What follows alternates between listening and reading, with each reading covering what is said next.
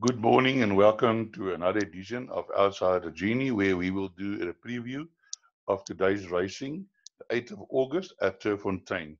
But before we look at the fields and and the betting, just a few one or two notes. Um, for those who are watching Outsider Genie, what Outsider Genie do is we as uh, do a form analysis of each race, and then we will we give punters outsider selections that they can use in their play. What we normally do is we give three selections. The first selection is our outright selection. That is the, the, the selection that we do think has the best chance in that race to win the race, the best horse to win that race. We are not always correct, but we are, we do sometimes find the winners more often than not. Then we give two outsider selections that we think can either place or win. And then by doing so, increase your dividend because ultimately you are looking to find the outsiders so that you can get the, the larger payouts because making money on, on favorites is not that easy. So uh, you can subscribe to our channel and ring the bell and every time that we post a new video you will get a notification about the video. Now we are also on uh, we are on social media where you can find us on Twitter, Instagram, or you can WhatsApp us for if you need any information. We're also looking for the sponsors to sponsor this page. Um, if you want to advertise something, you're more than welcome to talk to us. We will give you a very generous rates, and our um, preview goes out all over social media every day. Just want to look at some results or past results. Yesterday at Fairview, the 7th of August, we gave you the following outright selections that won. Race 5, number 7, Princess Kalisi at 92. Then we give you a nice outsider. Race 6, number 5, Benicarlo at 16 to 1. And race 8, number 2, Wicked Grin at 4 to 1. Then at the Vaal um, on the 6th of August, we gave you a quartet box 15 to 1. And also an outsider selection uh, that one uh, was number 3, Miss Cap Mala. Now, what happened here in race number five was our selections for that race was number 12 to win and number two and three was our recommended outsiders. So they ran in the first three paying 724 Rand a win. And what I always say to people is take those three selections of us and put it in a 10 Rand trifecta. Uh, because if you put it in a 10 Rand trifecta, you get like 1.66%. So if you did that, you would have gotten more than a thousand rand back on a on a 10 rand trifecta. I also did say in my video preview uh, that I do expect Courage, which was 50 to 1 at that time, to run an improved race, and he duly did running running fourth. So if you took that three selections and you listened to my advice on the on the video, you would have gotten the, the quartet paying more than 15,000 rand. And then we also strongly recommended Franklin, and we said in our video preview that Franklin, we do believe, has got a very good chance of winning this race. He went on to win this race, and I was amazed to see he was paying 970 for a win on the tote. Because at the bookmakers, he was about 5 to 1 and 350 a place. I couldn't believe the plays payout on that horse. We also gave number 6, Jive Express, as our outsider selection for that race. That ran second, giving you exact of 47 Rand 10 cents. So it is really worthwhile to subscribe to our services. And our services subscribe to outside of Genie from um, form analysis. We give you a race by race selection outright winner and two possible outsider selections. We give you value bets that are normally more than six to one. Best bets of the day, no odds on because you can find the odds on yourself, but you need the Genie to get you the outsiders. We give sometimes we give best bets as high as six to one. On the Vault 21 July, 21st of July, we gave the Express from the USA from the US, which was 13 to 2 at the time of my selections, and that won by four four links. And we give you suggested trifectas and quartet selections, and as you've just seen, sometimes they pay quite handsomely. We also give you affordable PA and pick six, which you can use as a build as a basis to build around your pick six. You can use some of my selections, you can use all of them, or you can use your selections and then maybe add some of our outsider selections. That is all up to you. Our subscription is currently 500 Rand a month. Um, and you can contact us at WhatsApp. Uh, just please note that uh, since a week has already passed, if you want us wanted to subscribe for the rest of the month, that will now be 400 rand for now till the end of the month. All right, now let's go. Let's go racing. Where we kick off at the at the Turffontein today, and I can tell you guys, I think it's extremely difficult cards.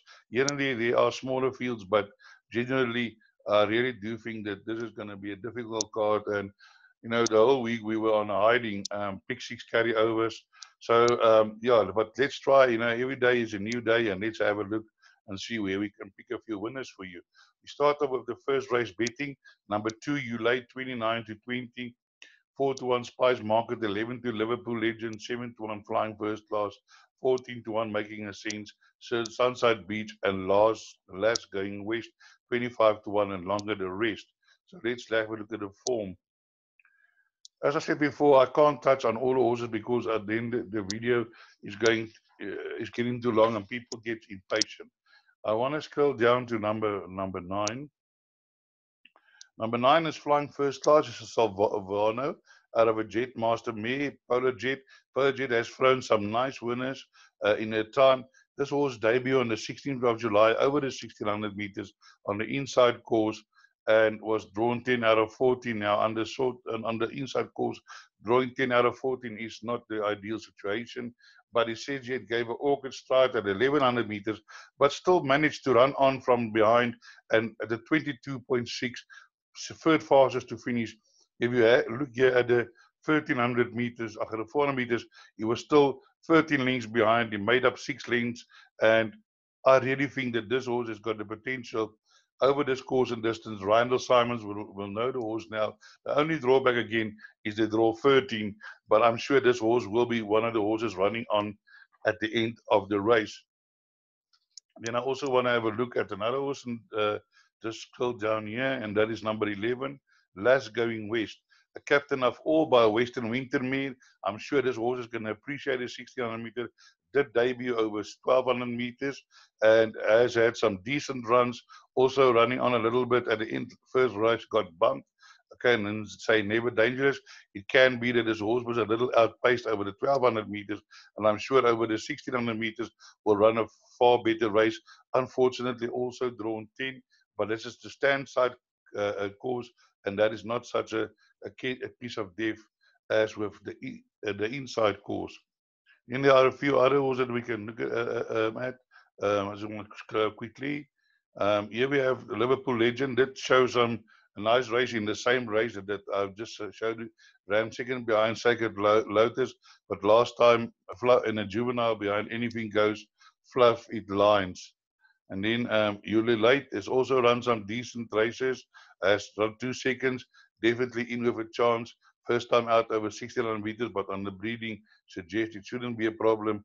Drawn to certainly in with a, a big chance in this race. Um, another horse that I think will improve today over the 1600 meters is making a scene. Um, has run two legs behind Peace on the rocks. Then I don't know what happened on this race behind Springs of Caramel. It was in the nursery over 1600, over 1200 meters. Maybe the pace was too fast. I don't know. Last time out, carried in saddle slip. So you can forgive that run, and I'm sure making a scene will run a better race. Drawn one, definitely a horse to include in all your selections. Then we move down to race number two, which is also a maiden plate over 1600 meters for three-year-olds, colts and geldings. Let's have a look at the betting. And here we are. The betting is as follows. Um, number 10, sits Liaison, 14 to 10. 12 Trumps Express, 33 to 10. 4 Enrico Cicchetti 9 to 2, Summerdale 8 to 1, 10 to 1, Carolina Reaper and 13 to 1 and longer the rest. So let's have a look at this race. Uh, first of all, I'm going to go down here and I want to go to number number three, Carolina Reaper. Carolina Reaper is a, a, flower alley out of a Silvano. I really li like this flower alley breedings. And although it's drawn in 11, did did um, debut over the 1200 meters. I'm sure the 1600 meters is going to suit much better. And this horse was slow away, and but did manage to run uh, 2.23 over the 400 to finish, which was only the four fastest, but that is still fast, 22.3 over the 1200 meters. And I'm sure this horse is going to just be suited to this longer distance. I also want to look at number four, Enrico Cicchetti. It's a Grace Inn. It also debuted in a juvenile over 1600 meters behind PSL. The horse raced green, but if this 400 to finish is, is got to be believed, then this horse must be in with a huge chance, although drawn 10. But as I said, on the Turffontein in standside track, it's not such a big problem. So I'm looking for number four to run improved race. Definitely a horse you need to input in all your calculations. Let's now scroll down to number eight, Summerdale. Summerdale is global view. The global views are really showing themselves by elusive Fort Me. That would bring in the stamina. I know it, in the Eastern Cape, it, it, it is a very nice global view. I think he's run four races in a row now, and some other global view horses also won. And I'm sure that this horse, if you have a look at his first race, how it ran on from behind, 23.4 fastest 400 to minis, uh, and then last time out, he said in touch no more.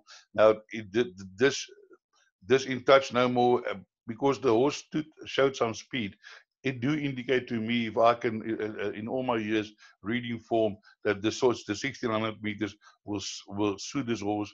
Khumalo riding from draw five. I'm sure this horse is going to be the when the focus are going to be taken at the end of the race. Then we have number 10, Setzler that that debut in, in March has been gelded since. Uh, that ran a, a, nice race behind the contractor, stayed on, drawn 12. Uh, probably would also be involved in the finish, but definitely not as not a certainty. Now let's move on to race number number three, which is a graduation plate over 1400 meters. Let's look at the betting. Race three, number um, six, catch 22 is now 7 to 2. Swindon Price 4 to 1. Shahi Abakar 5 to 1. Red 10 11 to 2. Kingsley's Heart 15 to 2. Ty Gold 8 to 1. Karnali 8 to 1. Euro set 8 to 1 and 20 to 1 on number 8, the first timer. So here also a very open race, although it's a graduation plate, this horses hasn't, you know, they're still young, they're still improving. So although we have the best weighted column here, uh, that is not, it might not be a, a really good guide, but let's let me have a look at a few horses. Uh, in this race, I really do like uh, Kingsley's Heart that day it won at 60 61 i said to the guys i gave this horse to the guys that this horse on that breeding that the 16 that the first two runs was far too short this horse is going to go that distance and even longer and I was proved correct. Last time out, just going down by 0.2 behind pure self. There's them on board. Now getting the minus two and a half, and I'm telling you, the minus two and a half is definitely going to make a, make a difference for me, the horse to beat in this race. Then um, there's also other horses of John Gold broke his uh, maiden in, in Scottsville the other day, ran on nicely. Um, also been also bred for a longer distance, and I'm sure this Gold is also a horse with uh, potential. Swindon Sprite, Michael Azzie, that bring bring uh, did break his maiden, also winning easily under 1450, can improve from the Red 10 won its first race. Um, also the 1400 cans will suit, will probably be there when the photos are taken. And then we have Karnali. Uh, I really like Karnali. It's a Futura by a Parade Leader. I think uh, these Futuras are going to do well as they get older. Um, this last time it ran in a great in a, in a grade uh, grade two, uh, was beaten by the stablemate over 1400 meters. But I, I, it looks to me like this horse was set up to be the the pace the, the, the pacemaker in the race for Nobreeze because it's the same stable. Before that, has been running there and thereabouts, and I'm sure the 1400 meters will be within its scope. It's now got straight up on board. Catch 22, Paul Peter, um, is still a maiden, getting a few kilograms off. Um, has been beaten by one or two horses, but yeah, the 1600 meters, it's a Elusive Fort by Agronaut, definitely bred for further. So definitely a horse to have a, uh, keep an eye on. And the same goes for number seven, Eurocent, also a maiden getting three kilograms off. And we also have number nine, Shah Bakar, Kirari by Galileo May. I'm sure this horse is going to improve because if you look like how this horse finished, I think that this horse, Shah Bakar, can be a big danger in this race, only carrying 56.5. So all in all, a very open race. Let's move on to race number four, where we have a merit rated um, 103 handicap over 1800 meters. Class B, merit rating 85. Here the betting as follows. There's only five horses as there was two as, as there were two scratchings. Master Supreme 12 to 10, Western 4 2 to 1, Shogun 26 to 1, 23 to 4 for Chatham 7th of June. I'm not going to dwell long on this race. There's only five horses. Uh, my selection is Western Ford. Western Ford has run against some strong opposition, uh, a one and out of your league. And I do think that uh, Western Ford, with Luke Ferraris on, will win this race. Uh, Van Chatten, already a nine-year-old but still running on, can be the biggest danger. Master Supreme, not out, without a chance, but I feel number one has run against and run against some strong opposition even if you look at out of your league, uh, that race behind out of your league, Western Ford, uh, finished fourth, uh, quite a few lengths um, in front of of um, Master Supreme. And also, if you look at on, on the 7th of March, behind got the got the green light. Uh, the 7th of March got a green light. Uh, well, then that horse finished again um, in front of um, Western Ford. So they have run against each other, but I do feel that Western Ford will make the, uh, the, the, the improvement and duly won this race. Then we move on to race number five, which is one of the open races on the card. Here we have a 2,400 Felicia Mare 74 handicap, class D65. Let's look at the betting. Here's the betting 72 the field, 5 Curvation 72, Littlewood 92, Illuminate 7 to 1, Pink 15 to 2, the Sash 15 to 2. Um, number 10, uh, 11, 10 to 1, Dance of the Dragon, Ration My Passion 15, 16 to 1, and Better the Rest. So um, I want to scroll down here to um, here I'm looking at horse um, number number 11, Dance of the Dragon. Um, in the Dance of the Dragon, if you have a look, has run against some useful opposition and a little bit higher than she's running now. This is a, um, a 66 average rating, and she has run against 73, 75 but what catches my eye is fastest last 400, no strong finish. Now, this horse is uh, going for the first time over this distance. And if you look at the breeding Irish Flame, Rambo Dancer, this horse can is bred to stay the whole day. So I'm looking at that five-year-old mare, Dance of the Dragon, 15 runs, 11, only one win and a few places. But I'm looking for her to improve today and also at a nice price. You're looking at uh, 10 to 1 currently.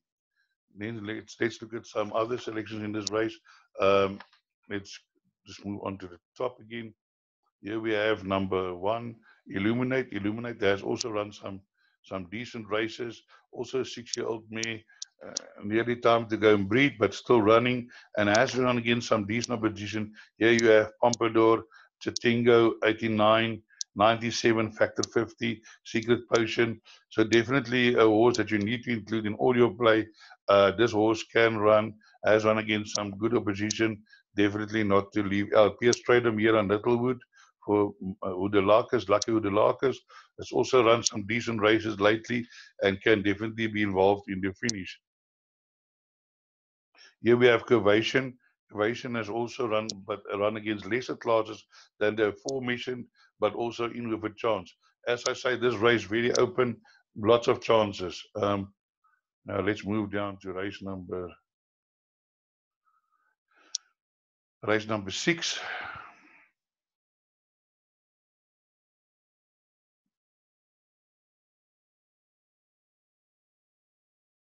which is a pinnacle stakes over 2,400 meters again. Um, yeah, here we also have a few horses with chances. Let's look at the betting first.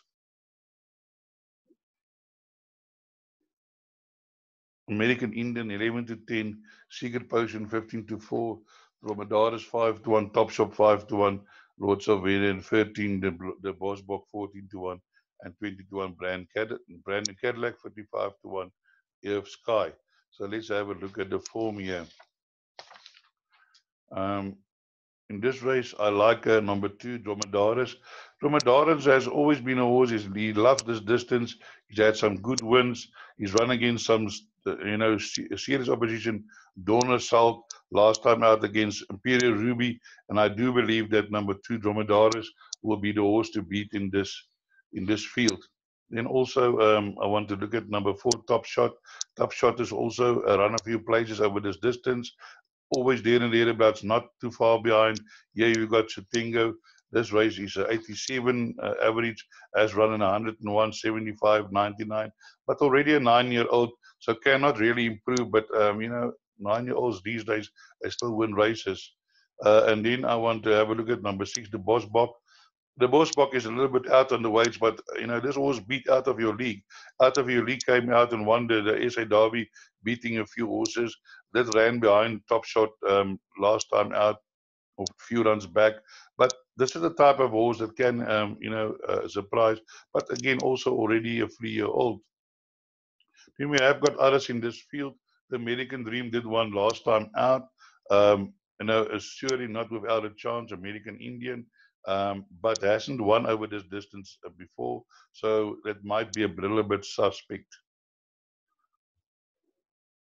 Um, Now, if you have a look at Dromedaris carrying 54 and second behind Dawn Assault on the 17th of September. And here we have American Indian also running, and that's ran third on the uh, 17th, uh, fourth on the 17th September behind Dawn Assault carrying 50, 57. So, and now they're carrying uh, four kilograms away uh, difference. So definitely, I think the Dromedaris can go can do can beat number one.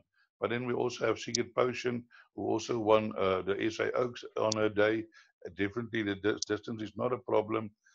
Um, that run on behind American uh, Indian last time, but that was too late. 22 seconds last 400, which is not too bad. Also in with a chance. So let's now move on to race number seven. It's a graduation plate for three old fillies over 1400 meters. Here we have um, War of Athena, 7 to 10, Elusive Woman, 3 to 1, Sweet, uh, Sweet and Spice, 11 to 2, Fantasy Flower, 15 to 2, 16 to 1, and Better the Rest. War of Athena ran in the Allan Robertson, and she ran third, finishing 23 seconds, the fastest 400 to finish behind Veronice over the 1200 meters. She did finish behind anything goes, anything goes as one again after that. So surely the horse to beat in this race. Miss Elegance is scratched.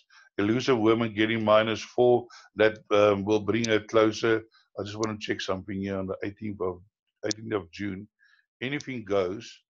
Ran in the same race. We ran 2.5 behind Anything Goes. Number one and Elusive Woman ran in front of that all right, but that get the minus four, so they are very close to each other. So I would not take the seven to ten on um, on on on War of Athens because Elusive Woman is close to her. Um, there are other horses of chances, horses that has run well in their first race, like Fantasy Flower, Sweet and Spicy. Uh, but I do think that those two that I the four mentioned might be the stronger horses in the race, so I'll stick with them. So now let's move on to race number um, eight, where the betting is as follows. Number 10, Mama Quera, 92, 5 to 1, Baltia, Royal Lily, 13 to 2, Comanche, 7 to 1, Solar Wood, 15 to 2, Timmy, 9 to 1, 11 to 1, Empress Josephine, 12 to 1, Encryption, Kapama, 33, 22, Straight Off My Feet, Lorai, 22, 25 to 1, Zulu Dawn, and 13, Tandikere, 28 to 1 guys, um, here I want to show you, uh, and because of the fact that lately Outsiders has won uh, either the, the second last leg or the last leg, I was looking for an outsider in this race. And the best outsider that I could find to win this race at 25 to 1 was this horse called Zulu Dawn. Now, if you have a look at this race, the average merit rating in this race is 79. Now, Zulu Dawn has run well in a 90, getting minus four again. Now it's already getting minus four again. Um, ran behind Soul of Wit. It, a big uh, advantage again in, in, because Soul of Wit is in the same race and do have a chance. Um, it ran behind Rock and Russia in 89, 76. So I think and uh, that um, with the minus four, that Zulu Dawn is your biggest outsider that can win this race. So if you're looking for an outsider to win this race, Zulu Dawn is the horse. I did tip it for first. I'm putting my head in the line. You might be laughing your head off after the race. Um, I want to go to number 10, which is on a hat trick. But I just want to point out number 10 is now is running now against much stronger position. Last time she running against 69 and a 67. And uh, now she's on a 76 minute rating. You know, uh, you know, it is just that sometimes people they create false favors because of she won the last two. But you need to compare that opposition to the position she runs now. Yes, she is a four-year-old improving, and she can keep on improving. But uh, but my years of experience have showed me that it's difficult as you go up in the weights to you know to keep on winning. And this is a, in my mind a much open race than number ten uh, Mamaquera. Here we got Strydom riding for, for Romeo Francis. Now I can tell you, when Strydom rides for Romeo Francis, you must know that the business is on. And here we have, again, this horse ran behind Mamaquera. Uh, Mamaquera was four kilograms, four and a half kilograms down. Now they are, they are, there's a half kilogram difference. It makes a big difference for 3.7 lengths that can be, that can bring number nine much closer to Mamaquera.